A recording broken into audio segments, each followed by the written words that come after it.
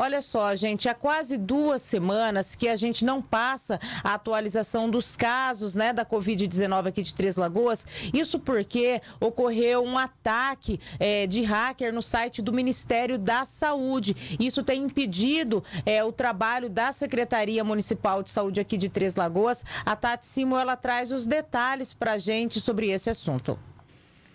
Desde o dia 10 de dezembro, que a Secretaria Municipal de Saúde de Três Lagoas não consegue coletar dados para a geração do tradicional boletim Covid-19. Aquele que apresenta os dados de quantos moradores foram internados com Covid, além de dados que informam sobre novos casos e óbitos provocados aí pela doença.